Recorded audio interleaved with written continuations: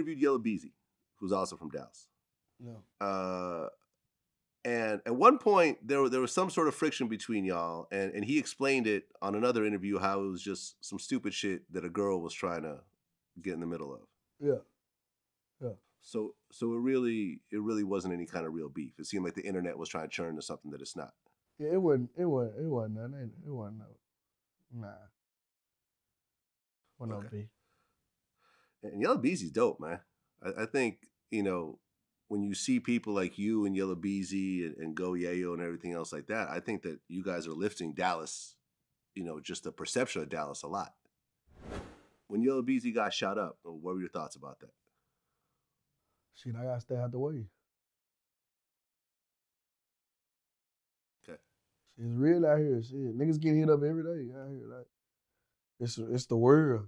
Like, you know, somebody right now, we talking right now. Somebody right now, probably getting shot up right now. Like, shit, you gotta stay out the way, man. there was a song that you dropped recently, and in the beginning of the intro, it's like a couple people talking, and it mentions you and Yella Beezy, but I didn't really understand what it meant. Can you can you explain that?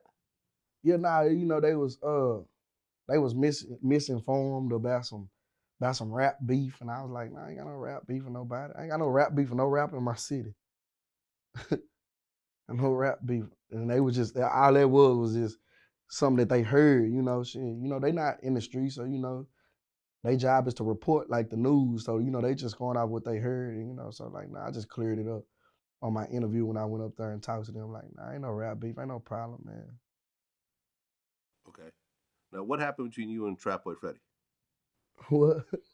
The Trapboy Freddy. What do you mean? What happened? I mean, there was a story that, that y'all had some sort of situation, and there was supposed to be some surveillance footage. of, you know, Uh. someone getting ran down on the street or, or something. Did you see it? I did not see it. Oh, well, I don't know what you're talking about because I don't know about nobody running down no street. Well, well, hold on, hold on. I'm pulling it up right now. Pull It it up. shows some. uh, I'm pulling it up. So I guess he claimed that he ran you down last year, and there's some surveillance footage. And I guess you, Did you you see? responded. Do you see somebody running down the street? Oh, I, I do not. Oh, okay. Well, I don't know what you're talking about. yeah, okay. Okay, okay. so so you're saying that all that is just nonsense. yeah, I don't. Yeah, that's, that's what I'm saying. Internet be reaching. I've had Trapboy Freddy on my show. Shout out to all the rappers in my city. We is doing our thing. You get what I'm saying? We, Right. We don't talk about all that. Okay, well I'm just saying all, for the, the all the rap we doing, ain't no ain't no rap beef, man. Ain't no rap beef. No. They can't Okay, they can't put me people can't put me in no rap beef, man. I don't I don't get into all that, man. I don't I don't I ain't my that make my my skin cry like it's it's it's, it's nasty. Like Well, I mean, that's what I want to hear, man, because because Dallas is popping right now, yeah. but all it takes is just a bunch of bullshit to happen between Yeah. between the rappers, and then you know a lot of doors will get closed. Because I guess at one point you got banned from performing in clubs in Dallas, right? Hey, yeah. For, shit. Uh, damn near a year. Right. That was over the shooting incident. Yeah. That Right. So fucked, here you are. and that was fucked up. Right. You're one of the hottest dudes in the Something city. happened you in can't Fort perform. Worth, 45 minutes away from Dallas.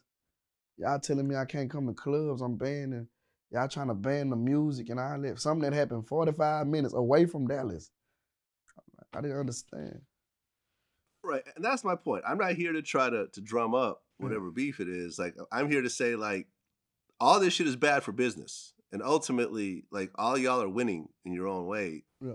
And you know to put put aside whatever bullshit because this all just looks like bullshit. Honestly, when I'm looking at it, Yeah, You know, grainy grainy footage and yeah, I don't even see that. You know, like- internet. Like I don't even know. Like I don't even know the niggas who sit behind computers and put stuff together. Like we're gonna put this right here. This look like this, and put this together.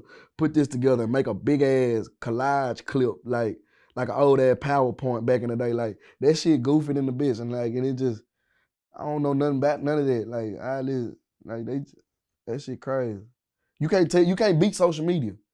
The No. internet gonna always win. So like it's like Oh. whatever they say, the people gonna run with it. Like so I don't even get into that.